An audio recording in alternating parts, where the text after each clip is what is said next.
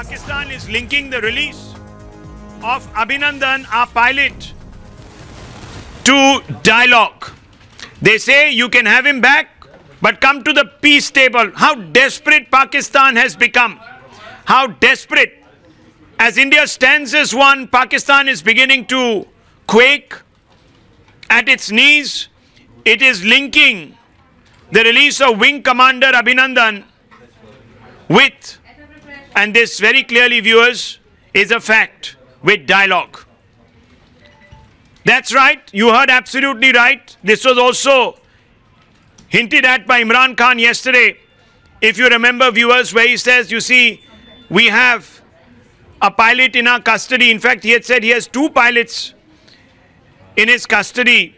And now Prime Minister Modi must consider the options. And dialogue is the only way forward. That is what Imran Khan had said today. His foreign minister, Shah Mahmood Qureshi, has come out and said exactly this.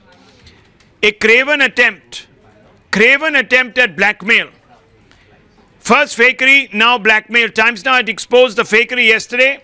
The blackmail is beginning today, viewers, on the part of Pakistan. Let me just read out this statement as we uh, try to connect you uh, to our uh, correspondents on the ground.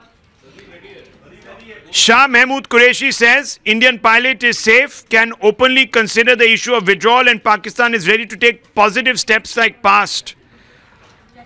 Foreign Minister Shah Mahmood Qureshi said the Indian media that he would like to convey the message to the people of India that Pakistan is a responsible country, Pakistan is a responsible army. We have the hands and military traditions from the instruments of genocide. And it goes on to say many more things. Let me just go across uh, to Pradeep, and this is also what the statement is saying. Pradeep.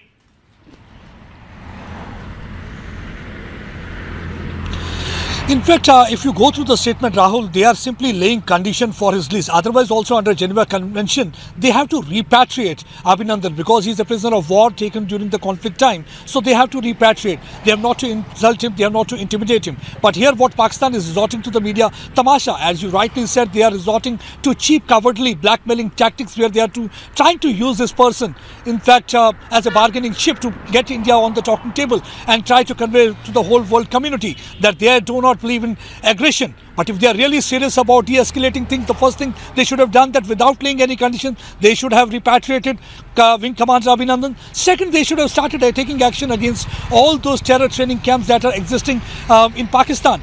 Uh, but the problem with Pakistan is that Pakistan is totally confused, not real, knowing what to do at this stage. Because when India targeted Pakistan terror factory, they had a right to defend because they were targeting non-state actors as has often been claimed by Pakistan. But when Pakistan tried to uh, come over to Indian side, that was simply an aggression because they wanted to target brigade headquarters. But after that, when they failed to do so, they came out with a statement saying that we only wanted to prove our capabilities. And now see the kind of a blackmailing tactics they are resorting to. They are laying condition. I think these are the cheap tactics which Imran Khan should not resort to or his foreign minister should not resort to. If they are really very serious about dialogue, if they really are serious about de-escalating things on line of control, this, this is high time when they should have sent those positive signals.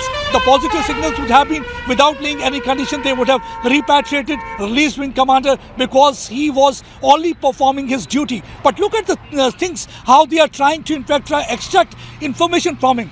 But see, the metal, the strong metal the Indian brave hearts are made of, even under such adverse and difficult situation, he is calm and composed. One of the army officers in Pakistan is trying to extract information from him. He is responding in such a good manner, saying that we are not supposed to divulge any details. I can tell you one thing.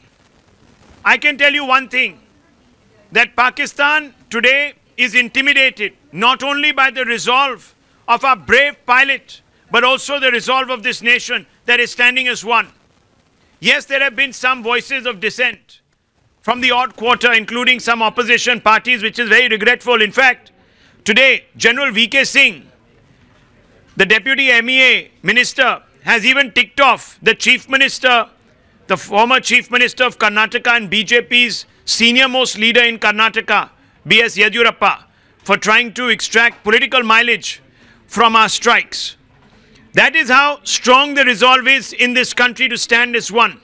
And this resolve is beginning to intimidate Pakistan. And therefore, they are beginning this blatant blackmail. And that is why they are resorting to humiliating our pilot and any other instrument that they have up their sleeves they are using, including peddling fake news, to try and break the morale not only of our forces but of our public, the vast middle classes in this country that resolutely stood for action against Pakistan. So the attempt is to divide us along class lines, attempt is to divide us into civilians versus military. The attempt is to also politically divide us, one political party against the other.